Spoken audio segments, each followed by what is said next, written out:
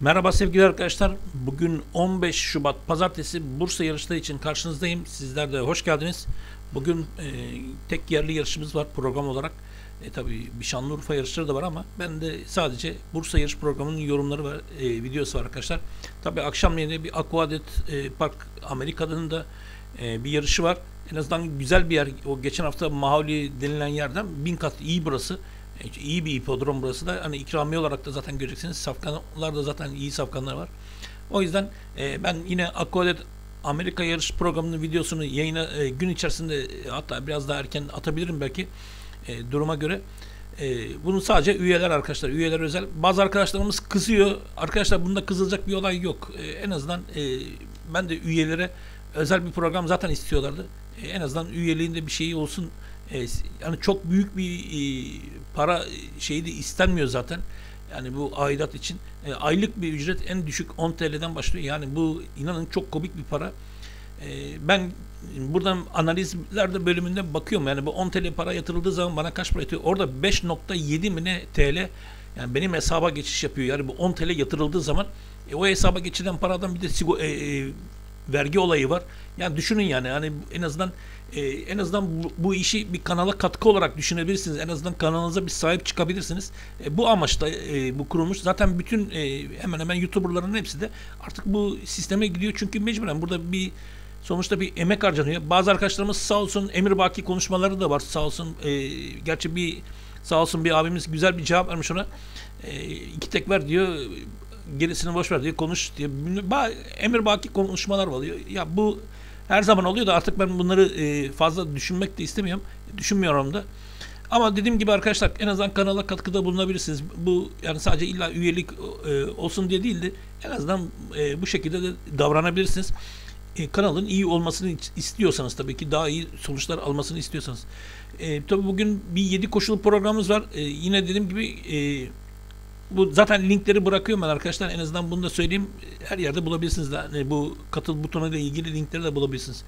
Ee, burada 7 koşulu bir programımız var. Güzel bir program. Benim en azından hoşuma gitti. Ee, para verebilir de şimdi hiç para vermeyecek dediğimiz bir İzmir yarışı. İnanın son ayakta e, ben 7 nolu safkanı tek attım ama 7 nolu safkanla maşallah hani hiç yarışla alakası yoktu. Hep geride bekledi. Biraz e, dışarıdan biraz dolanır gibi yaptı. Yani bir birincilik e, atağına girişim diye bir mücadeleyi ben görmedim. E, tabi orası da patladı yani bir e, General Quartes'in bir tayı geldi. Altılıyı da bayağı güzel bir yerlere tırmandırdı.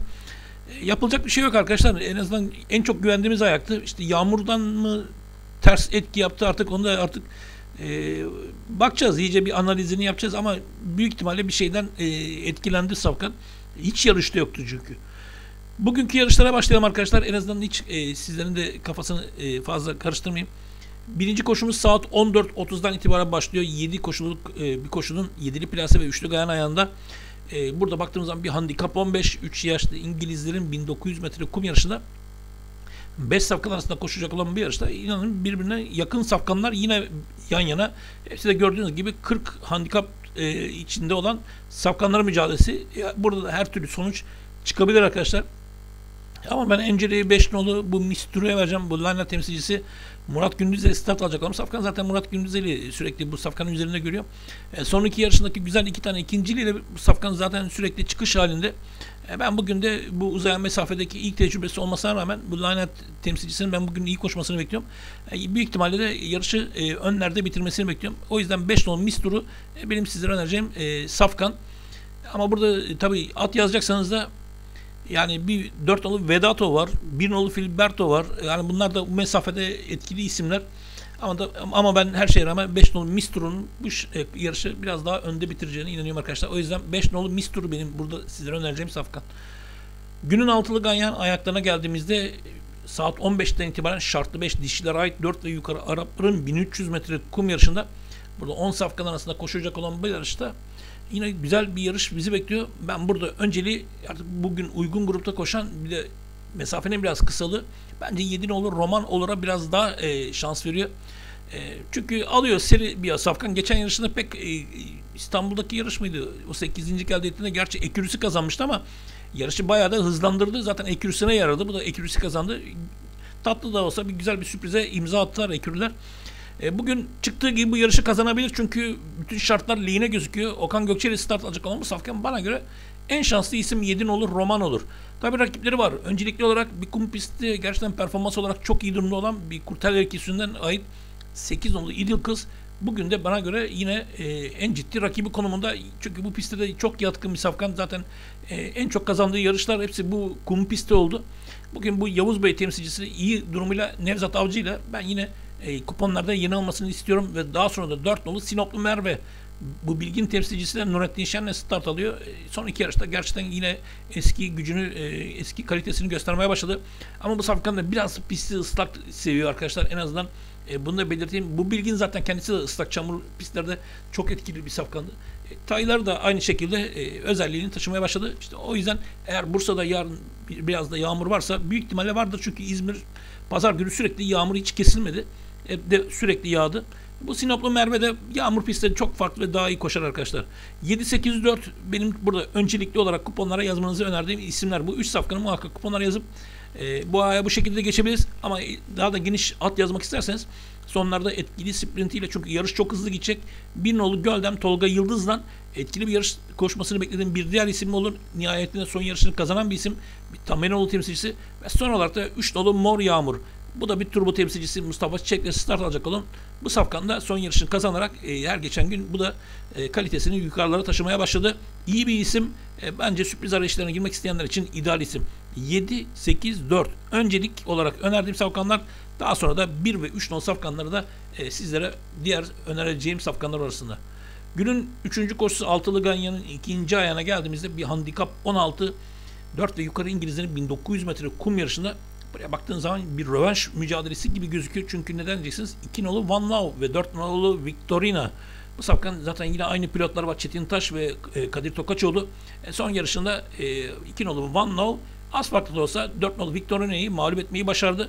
Bugün yine kazanmaya en yakın isim olarak görüyorum. 2 nolu Van Love Çetin Taş da tabii ciddi rakibi 4 nolu Victorina bu sefer geçen hatalarını en azından nerede ne yapacağını dersini iyice öğrenmiştir. Kadir Tokaçalı da e, bunu da başarabilecek güce sahip bir isim.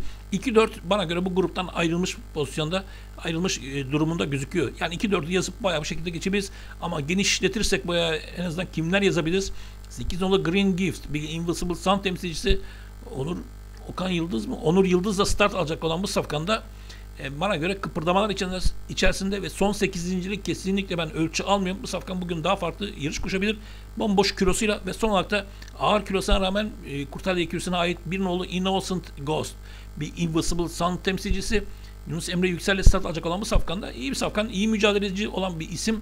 Yani bu yıl en azından bir yarış gördü. Nefes yönden bu sefer daha iyi duruma geldi. Hazırlık olarak da iyi durumda. Bence bir nolu safkanda ilave edebiliriz. 2-4 öncelikli olarak kuponlara yazalım. Daha sonra 8-1 bu ayak için sizlere önerdiğim safkanlar. Günün 3. ayağında Maiden 4 yaşlı Arapların 1800 metre kum yarışında 2 ve 4 nolu safkanların ikili olduğu bu 9 safkanlı koşu yarışta tabi baktığımız zaman e, geçen yarışta da banko verdik ama o gün biraz hayal kırıklığı uğrattı. E, Kadir Tokaçoğlu'nun artık e, kantarmasını beğenmediğini ne yaptı. Ama bugün e, en azından ikincilik yaptığı bir Okan Gökçeli tekrardan start alacak olan 4 nolu Gürdor'u bir de ekürü avantajına sahip. Gerçi ekürü şuralar kendini pek değil ama inşallah kendini bulur. En kısa sürede e, 4 dolu Gürdür'ü kazanmaya en yakın isim. Ben normal şartlarda bu safkanın kazanmasını bekliyorum arkadaşlar. Mesafede tutan bir isim. E, bugün kazanması en normal sonuç olur.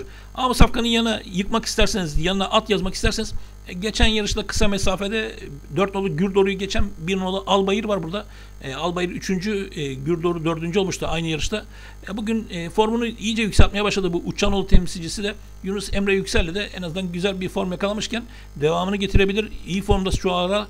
Daha sonra 8 dolu Tahir Baba bir özgün an temsilcisi Onur Öztürk'le start alacak olan bu safkanda 14 gün önce koşmuş olduğu yarışta güzel bir üçüncülük yaparak formda bir giriş yaptı. Bugün daha da formunu geliştiren bir özgün an temsilcisi olan 8 10 Tahir Baba'yı da kuponlara yazıp son olarak da ben en azından bir bomba yapabilir e, havasında gördüğüm bir 5 nolu Kır İbrahim.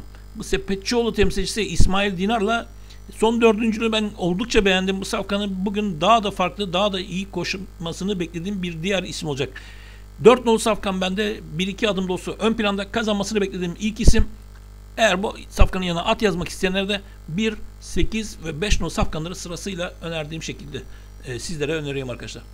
Günün dördüncü ayına geldiğimizde şartlı 5, 4 ve yukarı İngilizlerin 1900 metre kum yarışında 6 safkan arasında koşacak olan bu yarışa baktığınız zaman yine bir rövanş mücadelesi bizi bekliyor. Nasıl bir rövanş diyeceksiniz? 3 e, nolu Catch the kazandığı yarışta 4 nolu Petrocelli ile kafa burun girdi zaten. 3 e, nolu Catch the Rhythm birinci, Petrocelli ikinci olmuştu. Zaten bu Petrocelli'nin son yarışına bakarsanız oradan en azından görebilirsiniz. Ama o yarıştan sonra koşmadı. Gerçi e, Catch the Rhythm'da iki yarış koştu. E, koştuğu yarışlar hepsi grup yarışları zaten. İki tane kalite safkan. Ben bugün e, yine iyi hazırlıklarla 4 numara Petrocelli'nin iyi koşmasını bekliyorum. Tabii ben de ilk şanslı isim en azından şu anda hazır kıta gibi gözüken e, bir Speedy Wolf iyi bir kum orijini Catch the Rhythm'ı Onur Öztürk'le yine birinciliğin en güçlü adayı olarak görüyorum. Bana göre en ciddi rakibi 4 nolu Petrocelli olur. Yine iyi hazırlıklarıyla bu Kaneko temsilcisinin Mustafa Çiçek'le yazmamız gerekir. Yani 3 ve 4 bu e, ayakta hiç ayrım yapmadan bu iki safkanı yazıp bu ayağı bu şekilde geçelim arkadaşlar. Günün 6. koşusu Altılı Ganyan'ın 5. ayına geldiğimizde kısa vade 6 3 yaşlı İngilizlerin 1400 metre kum yarışında 1 ve 6 nolu safkanların da ekür olduğu yarışa geldiğimizde işte benim baştan e, 4 nolu safkanı tek vermiştim bu 3. ayak için. E, buraya görünce artık tek adayımı buraya aldım. Öbür tarafa en azından alternatif olarak sunmak istedim. Yani size en azından anlatayım ben bunu. Yani neden tek atacağız? E, burada bir nolu Overti e, sürekli yarış kazanıyor ve son 3 yarışı bu yılki 3 yarışın 3'ünü de üst üste kazanan bir isim. Buradaki rakiplerin çoğuna geçti. E, bir de ekürüsü var burada. Altınolu Özay Karamaç'a e, Overti ile koşmayan safkanları da Altınolu Özay Karamaç'a geçti. Yani ikisi de şu anda tırnağın ucunda.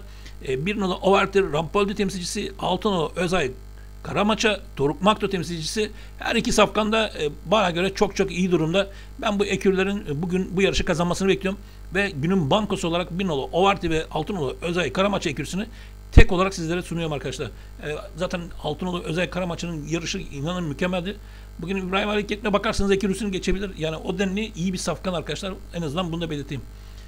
Günün son ayağına geldiğimizde bir satış koşusu 4 ve yukarı Arapların 1400 metrelik kum yarışında işte günün en zor ve en tehlikeli ayaklarından birisi yine satış koşusu. E, sürekli zaten satış koşularında ters yarışlar olabiliyor.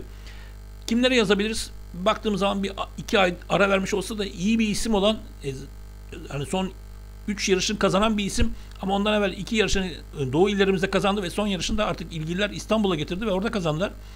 E, bu 5 not Despot bu turbo temsilcisi 9 e, yaşına gelmiş bir isim ama çok formda.